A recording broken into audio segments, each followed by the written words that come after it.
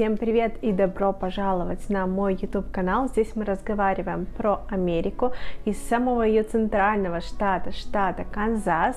И сегодня я вам расскажу про 5 самых классных городов нашего штата, которые стоит посетить, если вы путешествуете по Америке. Перед началом попрошу вас поставить лайк и подписаться на мой канал, ведь это все помогает продвижению моего канала. Все города, о которых я сегодня буду говорить в этом видео, небольшого размера, и на изучение их у вас не уйдет много времени, а займет буквально несколько часов.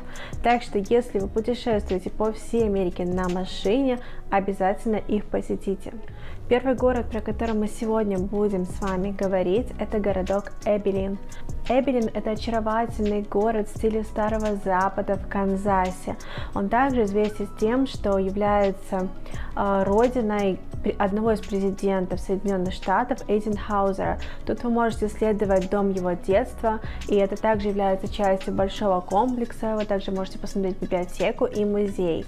Кроме того, вы можете увидеть э, впечатляющую архитектуру особняка Сили, и также тут есть очень хороший арт-центр, где можно увидеть э, различные предметы искусства, созданные индейцами. Один из самых классных аттракционов в этом городе – это возможность прокатиться на самом настоящем столетнем паровом поезде. Поезд отправляется из Эбелина совершает 10-мильную прогулку вдоль реки Смоки Хилл и едет в соседний поселок Enterprise. И в этом поселке находится самая настоящая мельница с водяным колесом, она называется мельница Хоффмана, и все пассажиры могут выйти и посмотреть на нее, как она перемалывает муку. Далее поезд едет обратно. На этом поезде у вас также есть возможность Э, заказать ужин и насладиться всеми видами, открывающимися из поезда.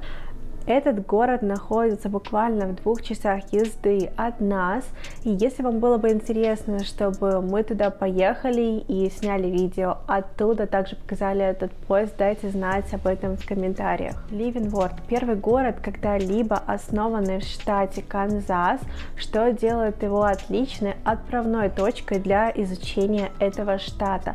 Город был основан в 1854 году, и по сей день вы можете насладиться его архитектурой, историей и также найти отличное времяпрепровождение всей семьей. Дорогие друзья, хотела бы также отметить, что это видео выходит только потому, что был такой запрос от вас в комментариях. Так что если у вас есть какой-то запрос, какая-то конкретная тема, чтобы я сняла про это видео в США, дайте об этом знать. Я всем всегда стараюсь отвечать в комментариях. Следующий город это Вамега. Я не могла не включить этот город в этот список, потому что он мне очень понравился. Я уже там была вместе со своим мужем. Есть отдельное видео на канале. В этом городе все посвящено волшебнику из страны Оз. И там есть специальный музей, где вы найдете более тысячи экспонатов, которые были использованы в фильме. А также там есть знаменитая дорога, вымощенная желтым кирпичом, множество татошек. А, и этот город полон настоящего уюта, ощущения сказки. Я думаю, особенно классно его посетить, если у вас есть дети. Если вы еще предварительно посмотрите этот фильм перед поездкой, будет вообще супер. Очень рекомендую его к посещению. Чтобы изучить этот город, у вас буквально может уйти часа два. Он небольшой, но полон магии.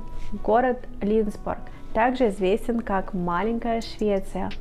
Этот город наполнен шведской атмосферой, уютом, элементами архитектуры и культуры.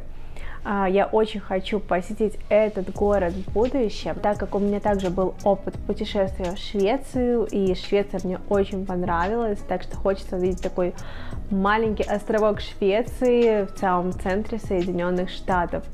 Музей Старой Мельницы – это лучшее начало вашего путешествия по городу Линсбург, и вы также увидите шведское влияние на его улицах. Если вы планируете поехать в этот город, очень классно, если вы это сделаете в октябре месяце, так как у них есть свой местный фестиваль, который называется вот так вот, и он проводится в этом городе аж с 1941 года. Город Лукас. Его население составляет всего лишь чуть больше, чем 300 человек, тем не менее вы найдете, что здесь делать. Вас точно удивят известняковое здание, Эдемский сад.